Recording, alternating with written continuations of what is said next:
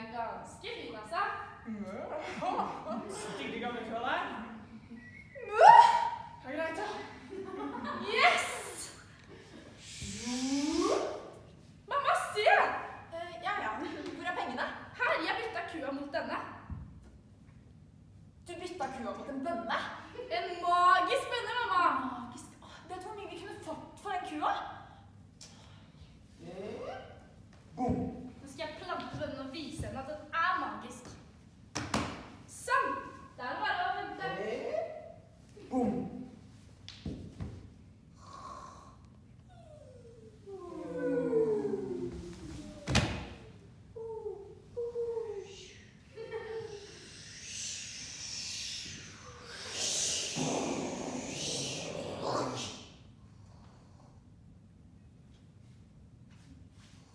Kukkeliku! For en fin morgen. Nå skal jeg ut og se på bønnestengelen. Oi! For en svær bønnestengel. Den er klatret helt opp til skyene.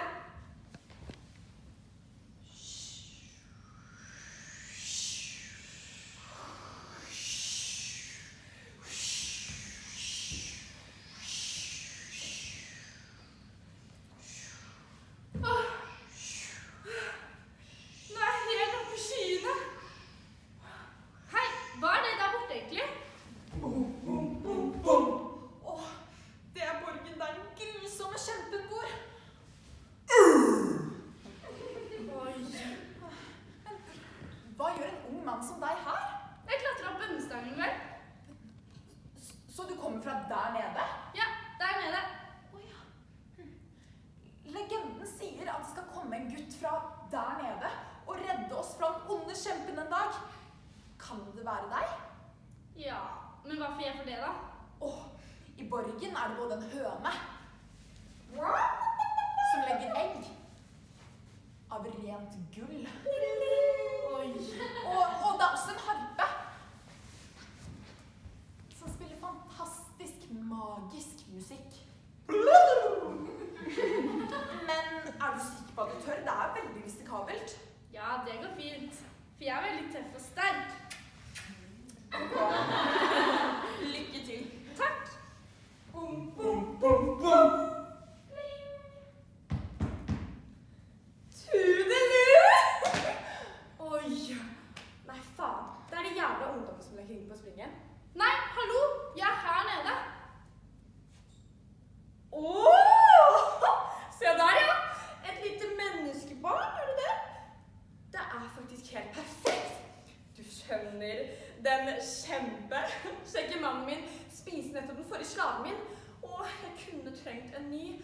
Du kan sette i gang og pusse sølvtøyet mitt. Nei, det gidder jeg ikke. Jeg er ikke slaven din.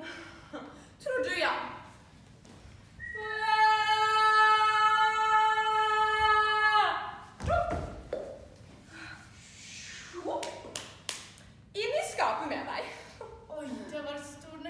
Der finner aldri den kjempetøffe mannen min deg. Han kan ikke spise flere av slavene mine. Og dere! Nå kommer den kjempesexy mannen min! Hi-ha! Hi-ha-ho! Jeg lukter menneskeblod! Eller er det suppe? Ja, det er jo bare suppe. Ingen mennesker her. Du er så vakker! Det motsatte av alle kakerlakker. Åh, som han snakker! Ta på den sterke puppen min. Okay. Nei, stopp det skilt. Sånn. Hent høna. Ja. Høna. Løna. Høna. Å, så fin. Å, så vakker. Legg et egg.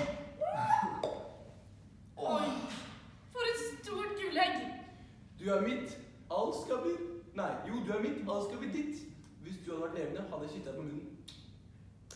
Eh, høna, hent, eh, hent harpen.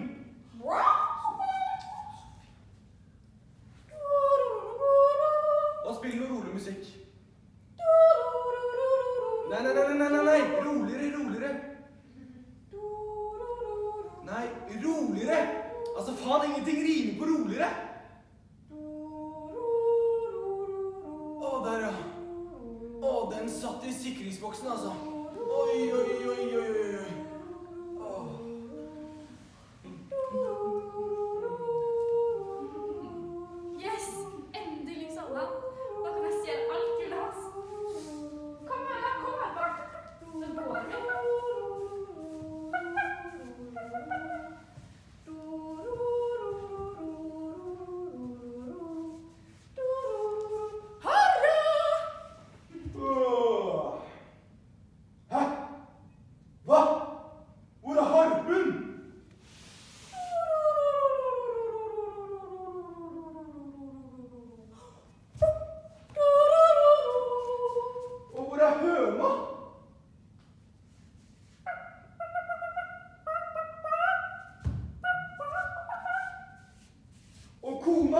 egget med gullbelegget.